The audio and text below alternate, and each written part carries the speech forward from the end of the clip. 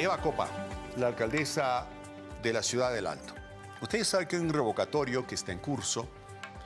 Según los organizadores de este revocatorio de Eva Copa, ya están en el 67% del total de firmas que van a presentar, aseguran, este 6 de marzo.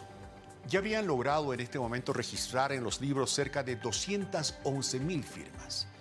El 6 de marzo los organizadores dicen, vamos a presentar en el Día de la Ciudad del Alto las 300.000 firmas para llevar adelante el revocatorio contra Eva Copa. Eva Copa recibió hoy una, una mala noticia. ¿no? El Tribunal Departamental Electoral le rechazó el recurso que presentó para evitar que este revocatorio siguiera su curso. No, presentó una impugnación. Y hoy el Tribunal Departamental Electoral dijo, no, esa impugnación no tiene lugar, por lo tanto el revocatorio sigue. A ver, se logran las 300.000 firmas, ¿qué es lo que va a pasar? El Tribunal eh, Electoral ¿no? Eh, verificará que las 300.000 firmas presentadas son evidentemente de ciudadanos bolivianos, ¿no? registrados como tiene que ser en el CEGIP, etcétera, que estén en el padrón, ¿no? y fruto de aquello eh, autorizará la realización de un referendo, se pondrá la fecha para el referendo. ¿no? En ese referendo eh, los votantes, aquellos que quieren revocar a Eva Copa, tendrán que obtener un número de votos mayor al que obtuvo Eva Copa para ser elegida como alcaldesa. Si obtienen un porcentaje menor, perdieron. ¿no? Y Eva Copa seguirá siendo alcaldesa. ¿Qué pasaría si Eva Copa pierde el referendo?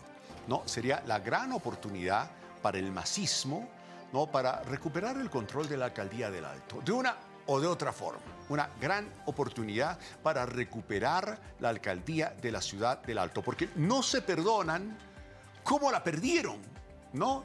Precisamente en manos de una masista que, terminó renegando con el partido, eh, el partido no la tomó en cuenta para ser candidata, era la candidata ideal del MAS. El MAS se equivocó. Y Eva Copa les demostró que sí se equivocaron. Ganó la alcaldía del Alto y el MAS no se perdona a sí mismo, ¿verdad? Por eso es que toda, esta campaña para, para, este revocatorio, que viene precisamente del ala radical del movimiento al socialismo, representado por Evo Morales Saima, ¿sí? Así, pero ¿qué pasaría si, si quienes intentan revocar a Eva Copa, en este caso el MAS de Evo Morales, no logra su objetivo?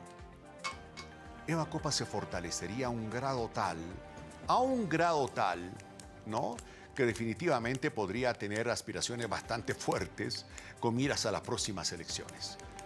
¿No? Eh, un revocatorio o te, o te quita el cargo o te fortalece, pero no te deja igual. ¿no? Entonces Eva Copa lo sabe, enfrenta con calma este momento, seguramente preocupada porque las posibilidades están así. ¿eh? Todo puede pasar en ese revocatorio en la ciudad del Alto. A ver, eh, depende mucho de cómo se hagan las movidas siguientes.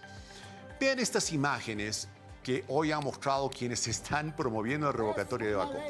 Estucaron, revocaron, así, revocaron la figura de Bacopa, le dejaron la carita nada más. Le, revocaron todo el cuerpo, no, estuco, pum, pum, pum, pum, pum. Así va a ser el revocatorio, decían, te vamos a tapar a Bacopa. A ver, escuchemos un poquito de lo que decía el hombre. De borrachera, paseaje, de 16 maridos, vamos a revocar. El proyecto de 16 maridos no va a funcionar el pueblo alteño va a preparar. Ahí está. Adelante, por ahí está. Ya, ya, lo demás pueden decir cualquier cosa, evidentemente no vamos a dar lugar a aquello. ¿no? Eh, ahí están, están procediendo a revocar Eva Copa, ¿no? La van a tapar todita con esto. Va. Ahí está, es la forma como están promocionando este revocatorio.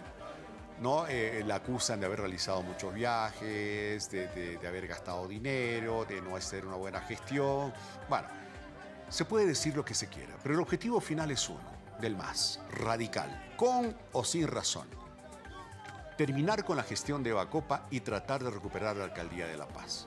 No, lo, demás es parte del discurso que en política eh, sabemos que nace de la intencionalidad de los objetivos que se traza determinada línea política. y eso ya, ya veremos qué ocurre a futuro. Así está el caso del revocatorio de Bacopa.